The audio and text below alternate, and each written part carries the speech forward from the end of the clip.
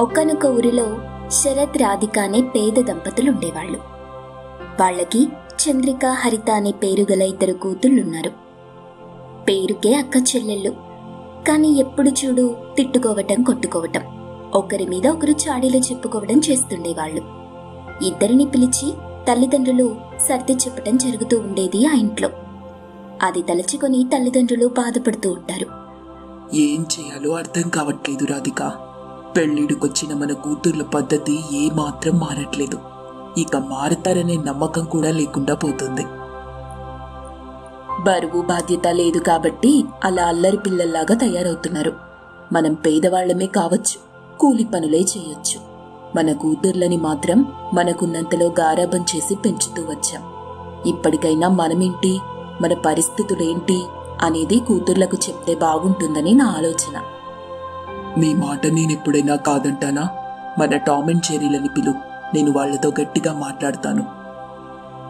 చంద్రిక హరిత ఇలా రండి మీ నాన్నగారు పిలుస్తున్నారు. అని పిలిచిన తల్లి రాధిక పిలుపు విని చంద్రిక హరిత వాళ్ళ దగ్గరికి వచ్చారు ఒకరిని చూసి ఒకరు మూతి తిప్పుకున్నారు. చూడండమ్మా ఈరోజు మీకు మా బాధ మొత్తం చెప్తా. మేమెంత కష్టపడితే మనం ఇలా బతుకుతున్నామో కూడా మీకు తెలియాలి. కూలి పనులకి వెళ్ళి కుటుంబాన్ని పోషించడమే భారంగా ఉండటం వల్ల మేము మిమ్మల్ని పెద్ద పెద్ద చదువులు చదివించలేకపోయాం. పొట్టకు బట్టకు ఇబ్బంది లేకుండా పెంచి పెద్దవాళ్ళని చేశాం. పెద్ద పెద్ద చదువులు చదివిన వాళ్ళే బాగుపడుతున్నారు. మనం చదవలేదు కాబట్టి మనం ఏం చేసినా బాగుపడలేమని మీరు అనుకుంటున్నారా? అదే మీరు చేస్తున్న పెద్ద తప్పు. మీకు తెలివితేటలున్నాయి. వాటిని ఆచరణలో పెడితే అద్భుతమైన ఫలితాలు సాధిస్తారు. అంటూ శరత్ తన కూతుర్లని చూస్తాడు. అయోమయంగా ముఖం పెట్టి తననే చూస్తున్న కూతుర్లని గమనిస్తాడు. చంద్రిక హరిత ఇంకా మాకు కూలి పనులు చేసే ఓపిక లేదమ్మా. మిమ్మల్ని పోషించే శక్తి లేదు. ఇప్పుడు మా జీవితాలు మీ చేతుల్లో ఉన్నాయి. మీరు కష్టం చేసి డబ్బు తీసుకొస్తేనే మన నలుగురి జీవితాలు ముందుకు వెళ్తాయి. లేదంటే కలిసి కట్టుగా చనిపోవడమే. అంటూ శరతి ఏడుస్తాడు. ఆ మాట విని చంద్రిక హరిత ఆశ్చర్యపోయి ఒకరినొకరు చూసుకుంటారు. తల్లిదండ్రుల్ని ఓదార్చుతారు. బాగా ఆలోచన చేసి రెండు రోజుల తరువాత అదే ఊళ్ళో ఉంటున్న ఒక చెట్టు కింద చంద్రిక పానీపూరి అమ్ముతూ ఉంటుంది. రండి బాబు రండి. వేడి వేడి పానీపూరి అంటూ చంద్రిక పానీపూరి అమ్ముతూ కుటుంబానికి అండగా ఉంటుంది. ఇక చెల్లి హరిత కూడా అదే చెట్టు కింద చాక్లెట్స్ అమ్ముతూ ఉంటుంది.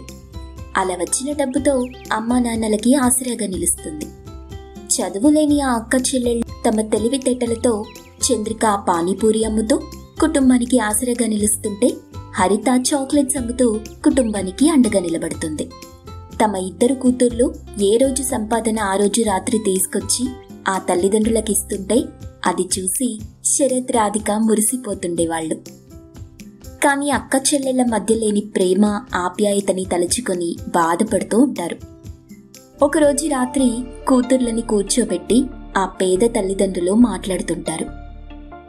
మీరిద్దరూ డబ్బు సంపాదించే అక్క చెల్లెళ్ళే. సవతులు కాదు. ఎప్పుడు చూసినా కొట్టుకోవడానికి తిట్టుకోవడానికి. కనీసం మేము చనిపోతేనైనా మీరు మాట్లాడుకుంటారా? ఆ మాట విని చంద్రిక హరిత కళ్ళలో నీళ్ళు తిరిగాయి. ఒకరినొకరు చూసుకుంటారు. కానీ ఈగో వల్ల ఎవరూ ముందుకు రాలేదు. ఇద్దరు ఎవరి వ్యాపారం వాళ్ళు చేసుకుంటూ ముందుకు వెళ్తున్నారు. అలా రోజులు గడుస్తున్నాయి. చంద్రిక పానీపూరి హరిత చాక్లెట్ వ్యాపారాలు బాగుంటాయి. ఇంతలో హరీష్ అనే పాతికేళ్ళ కుర్రాడు అక్క చెల్లెళ్ళ వ్యాపారాల గురించి తెలుసుకున్నాడు. అతను కూడా ఒక తోపుడు బండి మీద పానీపూరి చాక్లెట్స్ రెండు పెట్టుకుని ఊరంతా తిరుగుతూ అమ్ముతుంటాడు. దాంతో చంద్రిక పానీపూరి హరిత చాక్లెట్స్ వ్యాపారాలు జనాలు లేక వెలవెలబోతుంటాయి. దాంతో నష్టాలొస్తాయి. అందుకు కారణం హరీష్ అనే యువకుడని తెలిసినా ఏం మాట్లాడకుండా అక్క చెల్లెళ్ళు కలిసిపోతారు. అది చూసి శరత్ రాధిక సంతోషిస్తారు. ఇలా మీ ఇద్దరు కలిసి కట్టుగా ఉంటే ఏ పనిలోనైనా మిమ్మల్ని ఢీ కొట్టేవాళ్ళు ఉండరు ఎప్పటికీ ఇలాగే కలిసి ఉండండి తల్లి. అప్పుడే అక్క చెల్లెల బంధానికి అర్థం ఉంటుంది అనుబంధం ఉంటుంది. ఆ రోజు రాత్రి అందరూ అన్నం తినేసి బయట మంచాలు వేసుకుని అన్నీ మర్చిపోయి కబుర్లు చెప్పుకుంటారు. శరత్ రాధికల మనసు ప్రశాంతంగా ఉండడంతో హాయిగా నిద్రపోతారు. అక్క చెల్లెళ్ళు మాత్రం వ్యాపారాల గురించి ఆలోచన చేసి అక్క చెల్లెళ్ళ చాక్లెట్ పానీపూరి వ్యాపారం చేద్దామని మాట్లాడుకుంటారు. వాళ్ళు కూడా ఆ రాత్రి హాయిగా పడుకుంటారు. మరుసటి రోజు నుండి చంద్రిక హరిత ఇద్దరూ కలిసిపోయి చెట్టు కింద చాక్లెట్ పానీపూరి చేసి అమ్మటం మొదలెడతారు. ప్రియమైన పానీపూరి అభిమానులారా ఇప్పుడు పానీపూరి కొత్తగా సరికొత్తగా. చాక్లెట్ పానీపూరిలా మరి మీ ముందుకు సరికొత్త రుచితో మిమ్మల్ని అలరించడానికి వచ్చింది. రండి బాబు రండి. చాక్లెట్ పానీపూరిని టేస్ట్ చేయండి. రండి బాబు రండి. అని అరుస్తూ ఉంది హరిత. దాంతో పానీపూరిని ఇష్టపడే వాళ్ళు మొత్తం చాక్లెట్ పానీపూరిని టేస్ట్ చేయాలని అక్క చెల్లెల పానీపూరి దగ్గరికి వస్తారు. టేస్ట్ చేస్తారు. టేస్ట్ చాలా కొత్తగా అనిపించడంతో అక్క చెల్లెళ్ళ చాక్లెట్ పానీపూరి దగ్గరికి రెగ్యులర్గా వస్తుంటారు. ఈ విధంగా అక్క చెల్లెళ్ళ చాక్లెట్ పానీపూరి వ్యాపారం మూడు పువ్వులు ఆరు కాయలు అన్నట్టుగా సాగుతూ ఉంటుంది. కేశవాపూర్ విలేజ్లో వెంకటేశ్వర్లు పద్మావతి అనే భార్యాభర్తలుండేవాళ్ళు వాళ్ళ పాతికేళ్ళ కాపురానికి తీపి గుర్తులుగా చంద్రిక హరిత అనే ఇద్దరు కూతుళ్ళున్నారు చంద్రిక నల్లగా ఉండేది హరిత తెల్లగా ఉంది. తెలిసిన వాళ్ళు బంధువులు సరదాగా నల్లని అక్క తెల్లని చెల్లి అని పిలుస్తూ ఆట పట్టిస్తూ ఉండేవాళ్ళు పేరుకు అక్క చెల్లెళ్ళైనప్పటికీ పాము ముంగిసలా ఎప్పుడూ గొడవ పడుతూనే ఉంటారు.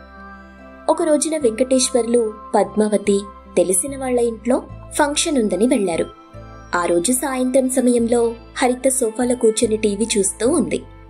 ఇంతలో చంద్రిక అక్కడికొచ్చి సోఫాలో కూర్చుంది. హరిత ఒకసారి న్యూస్ పెట్టు. అయ్యో అక్క ఇదిగో ఈ బ్లాక్ రిమోట్ పని చేయట్లేదు. అమ్మ వాళ్ళకి ఎన్నిసార్లు చెప్పినా వినరు. ఎప్పుడు రిమోట్ పాడైనా ఇదిగో ఈ బ్లాక్ రిమోట్ తీసుకొస్తారు. ఇదేమో పని చేయట్లేదు. బ్లాక్ చిచ్చి అంటూ హరిత రిమోట్ ఇవ్వబోతుంటే కావాలనే అన్నిసార్లు బ్లాక్ బ్లాక్ అంటూ తనని అవమానిస్తుందని చంద్రికకి అర్థమైంది. బాధగా కన్నీళ్ళు కారుస్తూ హరిత దగ్గర నుండి రిమోట్ తీసుకోవాలనుకుంటూ ఉండగా హరిత కావాలనే బ్లాక్ రిమోట్ని కింద వదిలిపెట్టింది. అది ముక్కలైపోయింది. కావాలనే చేసి హరిత ఇలా మాట్లాడుతుందని చంద్రికకి అర్థమైంది. బ్లాక్ దిష్టికి తప్ప దేనికి పనికిరాదని అందరూ అంటుంటారు. ఏమంటావక్కా? నిజమే కదా చెల్లి? నలుపుతో అద్దిష్టి తీయకపోతే తెలుపు ఎరుపు ఇంకో కలర్ ఇలా ఏదైనా ఏదో ఒక సమస్యతో ఇబ్బంది పడుతూ ఉంటుంది. అసలు నలుపు అన్నదే లేకపోతే అవి రంగులే కావు. నలుపు వద్దనుకుంటే అది జీవితమే కాదు. అలాగే పగలగొట్టడం చాలా తేలిక హరిత. తిరిగి నువ్వు ఆ రిమోట్ని బాగు చేయగలవా? లేదుగా? నువ్వేనైనా చెప్పక్క? నాకు నలుపు నచ్చదు. కొనే పరిస్థితిలో నేనున్నప్పుడు ఇంకా తయారు చేయాల్సిన అవసరం నాకు లేదు. అదే తప్పు. నువ్వు చూస్తున్న టీవీ రంగురంగుల్లో ఇంత అందంగా ఎందుకుందో చెప్పు హరిత. ఎందుకంటే ఆ టీవీలో వచ్చే రంగుల్లో బ్లాక్ రాదు కాబట్టి. కాదు. ఎందుకంటే టీవీ చుట్టూ నలుపు ఉంటుంది కాబట్టి. లోపల ఉన్న రంగులకి బయట ఉన్న బ్లాక్ అందాన్ని తీసుకొస్తుంది. అని చంద్రిక చెప్పటం ఏమాత్రం జీర్ణించుకోలేని హరిత కోపంగా టీవీ దగ్గరికొచ్చి టీవీని ఎత్తి బలంగా నేలకు కొట్టింది. అంతే. టీవీ ముక్కలైపోయింది. ఏంటి హరిత నువ్వు చేసిన పని? పిచ్చెక్కిందా నీకు? నీ జీవితం బతుకు రెండు ఇంతేనే. నలుపు లేనిదే టీవీ లేదంట. ఇప్పుడు ఆ నలుపే ముక్కలైందిగా? అని పొగరుగా నవ్వుకుంటూ అక్కడి నుండి వెళ్ళిపోయింది. చంద్రిక సోఫాలో కూర్చుని ఏడుస్తోంది. సరిగ్గా అదే సమయానికి తెలిసిన వాళ్ళ ఫంక్షన్కి వెళ్ళిన వెంకటేశ్వర్లు పద్మావతి చీకటి పడుతూ ఉండగా ఇంటికి వెళ్ళాలని టెన్షన్ పడుతుంటారు. పద్మావతి టెన్షన్ అంతా ఇంతా కాదు. తనకి కాళ్ళు చేతులు ఆడట్లేదు. మరి తన నలుపు తెలుపు కూతుర్ల గొడవ అంతలా ఉంటుంది మరి. ఆ ఊరి బస్టాండ్లో వెంకటేశ్వర్లు పద్మావతిలు నిలబడి ఉన్నారు. ఏవండి ఏదైనా ఆటో మాట్లాడండి. ఈ బస్సు ఎప్పుడు వస్తుందో ఏమో. ఆటో వద్దు ఏమొద్దు పద్మ. బస్సుకి వెళ్దాం ఈ సమయంలో ఆటో మాట్లాడితే వాడు మన ఆస్తులు అడుగుతాడు. అబ్బా పోతే పోయింది వెధవాస్తి. నాకు నా కూతుర్ల బాగోగులు ముఖ్యం. నేను అప్పటికీ చెప్తూనే ఉన్నాను. వద్దండి నేను రాను అని. మీరొక్కరే వెళ్ళి రండి అని చెప్తే విన్నారా? అందుకే కదా ఇప్పుడు టెన్షన్ అనుభవిస్తున్నాను. అని రోడ్డు మీద ఉన్నామనే విషయం కూడా మర్చిపోయి భార్యాభర్తలు గొడవ పడుతుంటారు. ఇంతలో వాళ్ళ దగ్గరికి ఒక ఆటో వస్తుంది. ఊరు పేరు చెప్పి పద్మావతి ఆటోలో కూర్చుంది. ఇక తప్పదన్నట్టుగా వెంకటేశ్వర్లు కూడా ఆటోలో కూర్చున్నాడు. ఆటోవాడు అక్కడి నుండి వాళ్ళు చెప్పిన ఊరి వైపు పోనిస్తూ ఉంటాడు. రాత్రి ఎనిమిదవుతూ ఉండగా వెంకటేశ్వర్లు పద్మావతి దంపతులు తమ ఇంటికొస్తారు. హాల్లో పగిలిన టీవీ రిమోట్ కనిపిస్తాయి. అలాగే సోఫాలో ఏడుస్తూ దిగులుగా ఉన్న చంద్రిక కనిపిస్తుంది. వెంకటేశ్వర్లు పద్మావతి కంగారు పడుతూ ఇద్దరు కూతుర్నడిగి విషయం తెలుసుకుంటారు. హరితని పిలుస్తారు. హరిత ఫోన్ మాట్లాడుతూ హాల్లోకొస్తుంది. తల్లి పద్మావతి ఇద్దరిని మందలిస్తుంది. అలా కొన్ని రోజులు గడిచిపోతాయి. నలుపు తెలుపు అక్క చెల్లెళ్ళకి పెళ్ళి సంబంధాలు కుదురుతాయి. నల్లగా ఉన్న చంద్రిక మనస్తత్వం నచ్చి మిల్క్ బాయ్లా ఉన్న రాజేష్ ఇష్టపడి పెళ్ళి చేసుకుంటాడు. నలుపంటేనే నచ్చని హరిత తనని ప్రేమిస్తున్నానని లేకపోతే చచ్చిపోతానని చెప్పి నమ్మించిన నల్లగా ఉండే వినోద్ని పెళ్ళి చేసుకుంటుంది. కొంతకాలం హరిత వినోద్ల సంసారం సజావుగానే సాగింది. తరువాత వినోద్ చేసిన మోసాల గురించి ఒక్కొక్కటిగా బయటపడుతూ ఉంటాయి. అప్పుడు కోపంగా వినోద్ని కొట్టి మరీ అడుగుతుంది హరిత. ప్రేమ పేరుతో ఇంత మోసం చేస్తావని నేను అనుకోలేదు. చి మూర్ఖుడా. నల్లగా ఉంటే నీకు నచ్చదా? నల్లగా ఉన్నవాడు నిన్ను చూడకూడదా? ఆ రోజుల్లో కాలేజ్లో నీ నోట్బుక్ కింద పడితే తీసిచ్చాను. దానికి నువ్వు నా నోట్బుక్ ముట్టుకుంటావా అంటూ లాగి పెట్టి కొడతావా? అప్పుడు నిర్ణయించుకున్నాను. నిన్ను ప్రేమ పేరుతో పిచ్చిదాన్ని చేసి ఇలా కసి తీర్చుకోవాలని. ఇదిగో ఇప్పుడు నాకు హాయిగా ఉంది. నీకు మాత్రం చేదుగా బాధగా ఉంటుంది కదా? అన్నీ తెలిసి అణిగి మణిగి కాపురం చేయడానికి నేను నిన్నటి తరం అమ్మాయిని కాదు మిస్టర్ వినోద్. నేటి తరం ఇల్లాల్ని. లౌక్యం తెలిసిన లా తెలిసిన దాన్ని. విడాకులకు సిద్ధంగా ఉండు. నాకు తెలుసు నీ గురించి. నిన్ను తక్కువంచన వేస్తానా హరిత? ఇద్దరు ఒప్పుకుంటేనే విడాకులు మంజూరవుతాయని నాకు తెలుసు. నేను వాటికి ఒప్పుకోను. నీకు విడాకులు రావు రానివ్వను. అంత తేలిగ్గా వదిలిపెట్టను నిన్ను. అంటూ నవ్వుకుంటూ అక్కడి నుండి వెళ్ళిపోతాడు. ఆ రోజు నుండి హరితకి వినోద్ రోజుకొక విధమైన టార్చర్ చూపిస్తూ నరకం ఎలా ఉంటుందో చూపిస్తాడు. ఇక నల్లగా ఉన్న చంద్రిక జీవితం మూడు పువ్వులు ఆరు కాయలు అన్నంత సంతోషంగా సాగుతూ ఉంటుంది.